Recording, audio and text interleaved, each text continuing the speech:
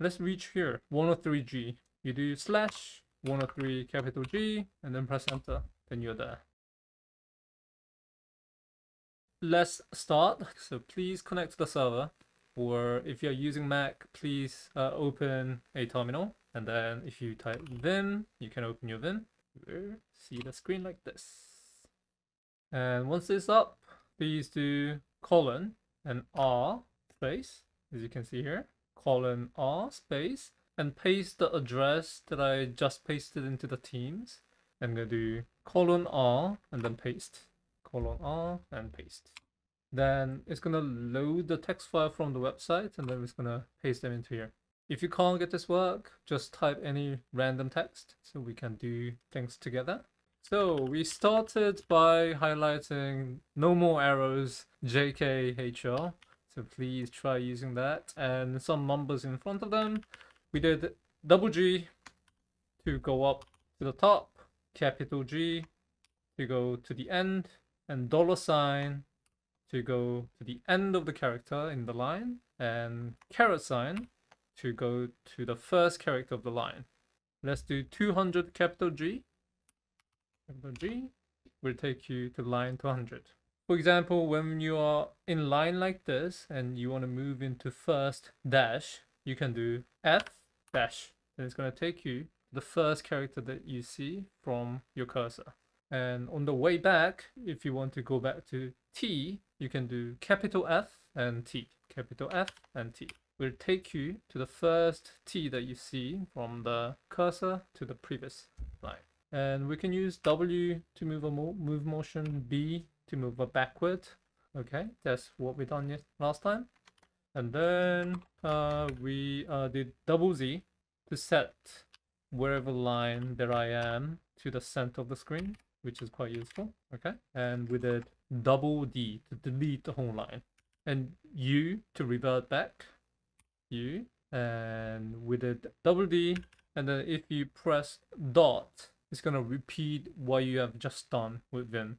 If you just press dot, gonna repeat what you've done. Okay? And we could select characters by pressing V and going into visual mode. When you press V, it's gonna say visual and you can move around like this and then you copy them by Y and you could paste them with P you could paste again using P. You could repeat them by dot. You could paste them 100 times by 100p. Okay? You can revert them by U. And we could select columns by, rather than just V, Control V. Control V, then it shows you visual block. Let's come down 10 lines down, and then you could delete them by X. So you deleted a single line from 10 lines in the beginning. Okay, I'm gonna reset all the changes that I've done in the text and I'm gonna go to the top of the line by GG. So let's do this together. If you have opened the same document on your screen, I'm gonna give you 10 seconds. So I'm gonna start from line one here and I want to reach the capital U that you see on line 11. Capital U that you see in line 11 where there's a word UTC. I want you to reach there using the least number of keystrokes. Have a go. I'll do 11J to go to the same line. Because it's capital U, I'm just guessing there's not many capital U's in the same line. So I'll probably do FU, which takes me here because this U is closer than this one from my previous position. I'm going to do repeat. Okay, so from this U, let's get to this small s in the subject in the seven lines above. There's a subject, Kevin Cho, and I want to reach S in the subject from the U. How should I do that? I'll do probably 7 up. And then since I'm here, I'll probably use S again because I'm quite used to searching using F or capital F. I'll do capital F, S.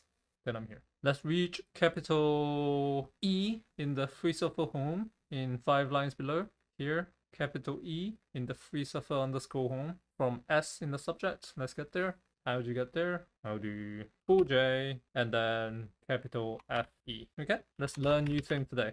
There are many times when you want to load the text from the output of a command that you type in the shell. For example, you type ls in a shell and all the list of files and directories in a, in a directory. You, you just want to copy them into a text file. Sometimes that you want to do that and there is a way to do that within the Vim. So here I'm inside Vim. What you do is colon and then exclamation mark and then ls. This will call ls command inside Vim. Let's do this. Colon exclamation mark ls.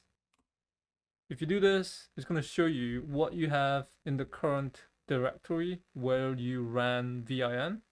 Let's run this again. Colon, exclamation mark, NLS. Maybe you can do home directory, temp, Linux tutorial, something like this. Then it's going to return what I have in this structure. Okay. Now I want to take a step further. I want to read the output of the command into the text file that I opened. What I do is colon read and then again exclamation mark ls return.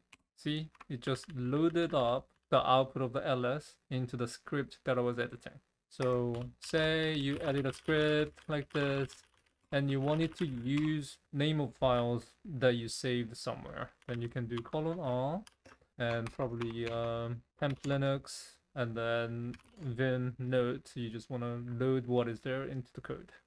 This. Oops. With exclamation mark and ls. Then it's going to load the files into them. We just loaded a output of a command. We can also load content of the text file. You do R and uh, if you know any text file that you have, then give the location. Uh, I'm gonna call them vim notes. This command will load the content of this MD file into here. Let me revert all the changes.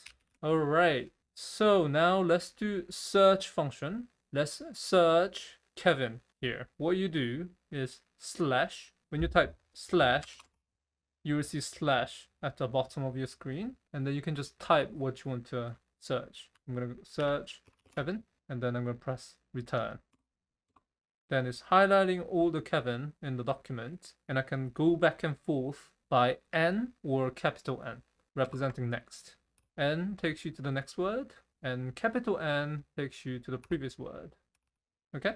N takes you next, capital N takes you to the previous. All right? And when you're done searching, you don't want them to highlight Kevin forever. So what you do is colon NOH. So no highlights. Colon NOH. No highlights. Okay? So this is giving me another option to move around. For example, say we move the UTC. So rather than going 5J and then capital F, capital U, I can now search them. I'm going to do slash UTC, slash UTC, and then I'm going to press enter. I'm here. I'm here. Okay, let me try this again. Uh, I want to get to this number, 819. So rather than going 13J and then moving around, I want to just search them, slash 819. Um, since there's a two 819s, it took me here, but by pressing N, I can reach where I wanted to reach. Let's reach here, 103G. You do slash 103 capital G and then press enter then you're there. Rather than moving around with J and K, you can sometimes use slash functions. But notice that slash function is searching onward. You can also search backwards by question mark. So I'm here. I want to reach Linux. So I want to do question mark and then Linux and then enter. I'm here. Okay. So now we can move faster. All right. That's search function. And to remove the highlights, you do colon and then NOH, no highlight. Remove all the highlights for me. All right. So I know some of you started listening to the sessions from when we started on the Linux, and one of the things that we did in Linux was SED, the sed function, replacing a specific word into something else. We have sed function inside Vim, so we can replace a word into something else. Say I have a Kevin Cho here. Let's come down to line uh, three lines down to be in the same line as where the Kevin Cho word is. And I'm gonna press colon and then I'm gonna replace, I'm, I'm gonna substitute Kevin underscore Cho into aha underscore ho I'm gonna press enter. So the first Kevin Cho that we saw in the line has just substituted into haha underscore ho. I'm gonna run that again like this. Then I expect this second Kevin Cho to be replaced. Okay? But notice that is only replacing one word. So if there's a more than one word on the line, it only replaces the first one. So let me revert back by pressing UU. And then this time I want to change all the occurrences in the same line. Then what I do is just include G at the end. So colon S Kevin Cho and then slash and whatever you want to change into and then slash G. Then it's gonna change everything on the line. See? There's uh, two haha holes. Alright, then next up. There are other Kevin Cho's in the script. I want to change all of the occurrences in across all the lines. What I do is I just include percentage sign in front of S and then do the same. Kevin underscore Cho slash haha underscore home. And then make sure that you include G to make it change not only the first occurrence of the word, but every word across the line. All right, so there should be no Kevin Cho's. We can check by slash Kevin underscore Cho, pressing enter, there's no Kevin Cho. Okay, all right, I think we can wrap up there for the Vim. So I can't highlight more. All, all of these commands, these JK are the most important one. So please, please use J and K rather than your arrows and you will be faster, you will be faster and I'll be a lot happier to see you move in them.